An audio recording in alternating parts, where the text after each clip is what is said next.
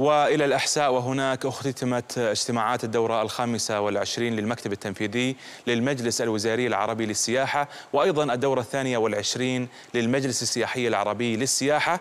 وأيضا في رده على سؤال لمراسل التاسعة حول مشاريع ترميم المواقع التراثية المتعثرة وعلى رأسها ميناء العقير أكد رئيس مجلس إدارة الهيئة العامة للسياحة والتراث الوطني أحمد الخطيب بأن ملف التراث الوطني سينقل كاملا إلى وزارة الثقافة هذا في نهاية العام الجاري. إذا تفاصيل مع زميلنا عوض الفياض.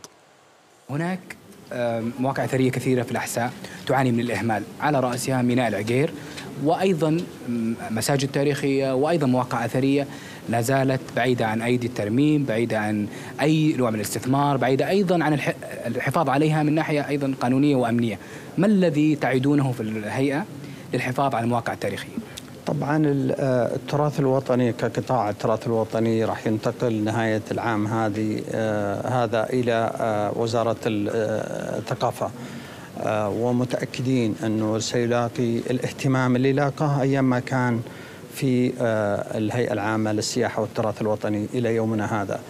حددت المواقع الأثرية خلال السنين اللي مضت منذ تأسيس الهيئة من 18 سنة وبدأ الاستثمار في ترميمها وإصلاحها. موضوع العقير مشروع كبير جدا. هذا المشروع إن شاء الله راح يتاح في المستقبل ربما للقطاع الخاص للاستثمار فيه. ولكن موقع موقع استراتيجي يقع قرب مدن رئيسية.